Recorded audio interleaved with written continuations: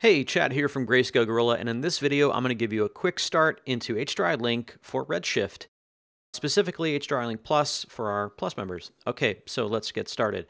We've got a Shimano bike pedal, a wall of Shimano bike pedals floating in the abyss here, and we're going to get some HDRI lighting going on these guys. So the first thing I'm going to do is jump into my Redshift menu and go down to Lights and grab a dome light.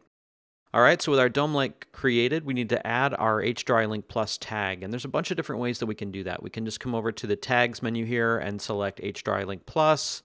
We can also right click in here and get to the same thing and do it right in here as well. Or you can come over to the Greyscalegorilla menu and hit HDRI Link Plus. And the third and probably the coolest way to do it is to use the commander, which is Shift C, and then just type in HDRI Link Plus. Boom, there you go. Now that that's added, we need to connect our Redshift Dome light up to our HDRI Link Plus tag, and the way that we're going to do that with the light selected is we're going to come down here into the attributes and find our dome map parameter, and we're just going to drag that right onto the HDRI Link tag, and then we're going to let go. And you can see we've got a connection because the tag goes from gray to white, and we now have a bitmap showing up here, which means that we've got a good connection. All right, so that's all connected up and good to go. The next thing that we need to do, uh, wait, one quick note before I move on. If you want to be able to see that HDRI in your background, you can enable the background right here. If you don't, you can just turn that off. Anyway, okay, so now we need to open up the Plus library and check out all the awesome HDRIs that we have at our disposal. There's a couple of different ways you could do that. The easiest way is to probably just double click this tag and it's going to open up the Plus library.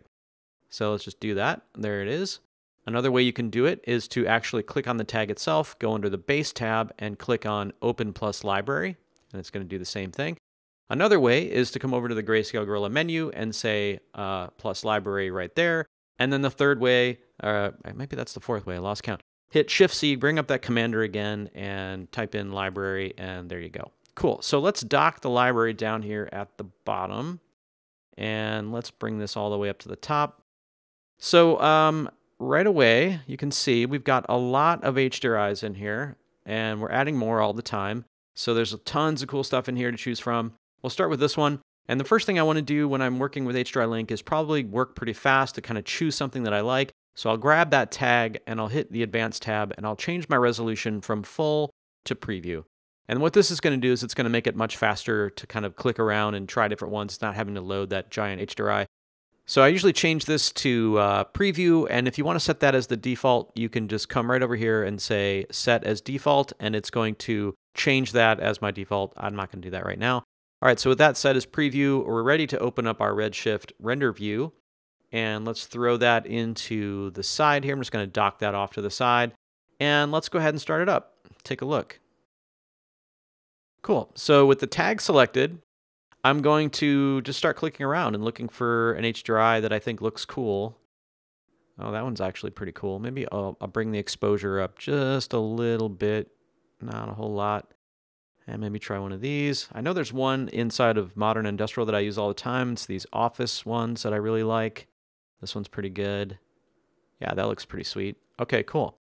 So yeah, I mean, you're just bouncing around trying different ones. Maybe we'll try some outdoor ones, uh, sunny day, maybe. I don't know. Maybe we try Pro Studios Metal, which are kind of perfect for this one, actually. These are made to look, make uh, metal really look awesome. Uh, right off the bat, I'm digging that one. Maybe we want to rotate a little bit. Let's grab that light and we'll rotate that a little bit off to the side, maybe. Get that highlight going, a little bit of a background. Cool. And again, like you can come over to that dome light uh, and just grab the general tab and turn off the enable background if you don't want to see it back there. But yeah, I mean, it's really simple. It's pretty straightforward. Uh, HDRI Link is just kind of made to go fast. And of course, you know, I'm working in preview mode, and if you want to render this out for real, maybe you want to switch it back over to full, and you're good to go there. And of course, if you delete this tag, you're going to be left with whatever the last map that you chose. So if I delete that tag, nothing happens, we're all good. It's just going to load that image in for you right there.